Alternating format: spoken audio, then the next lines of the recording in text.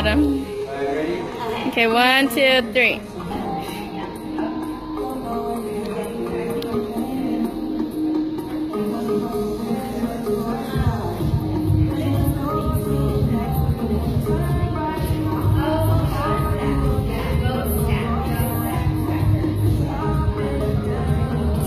Adam, you're such a show off.